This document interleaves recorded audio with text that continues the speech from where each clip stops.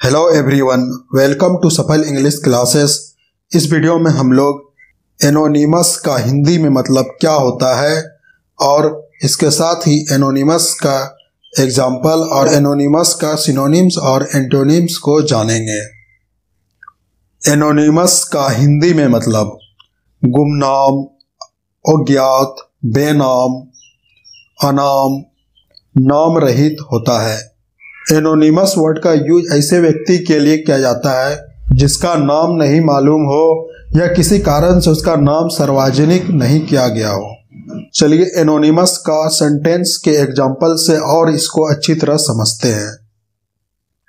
First example है an anonymous person hack my Facebook password इसका मतलब हुआ, एक गुमनाम व्यक्ति ने मेरा फेसबुक पासवर्ड हैक कर लिया।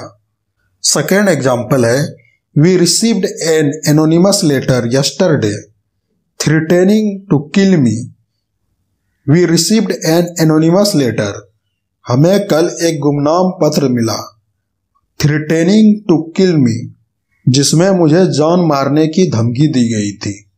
तो पूरे सेंटेंस का मतलब हुआ, हमें कल एक गुमनाम पत्र मिला, जिसमें मुझे जान से मारने की धमकी दी गई थी।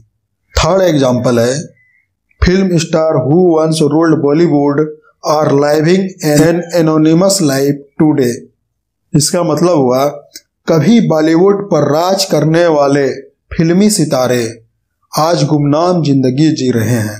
चलिए अब इसका सिनोनिम्स और एंटोनिम्स को जानते हैं। एनोनिमस का सिनोनिम्स यानी सिमिलर वर्ड समानार्थी शब्द।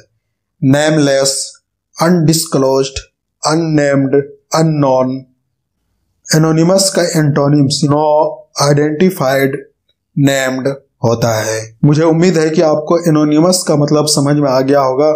और अगर आपने अभी तक हमारे YouTube चैनल को सब्सक्राइब नहीं किए हैं तो ज़रूर सब्सक्राइब कर ले। धन्यवाद।